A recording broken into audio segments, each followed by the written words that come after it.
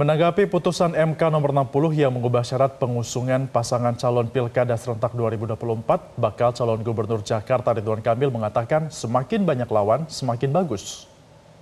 Jika itu memang menjadi sebuah keputusan, tentu satu harus dihormati kan, karena kan Mahkamah Konstitusi adalah institusi negara yang mereview urusan perundang-undangan termasuk pilkada.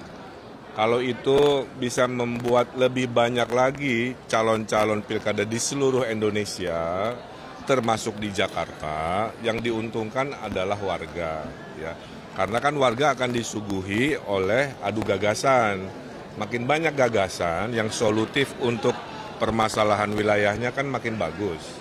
Saya tidak masalah karena dengan banyak sedikit pun selama itu sesuai aturan tentunya harus dilakoni.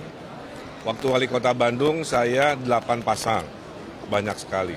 Ada independennya juga. Waktu Pilgub Jawa Barat empat pasang, juga nggak ada masalah. Nah di Jakarta dengan dinamikanya mau sedikit mau banyak, tentunya kita uh, lihat hasil akhir di pendaftaran. Jelajahi cara baru mendapatkan informasi. Download Metro TV Extend sekarang.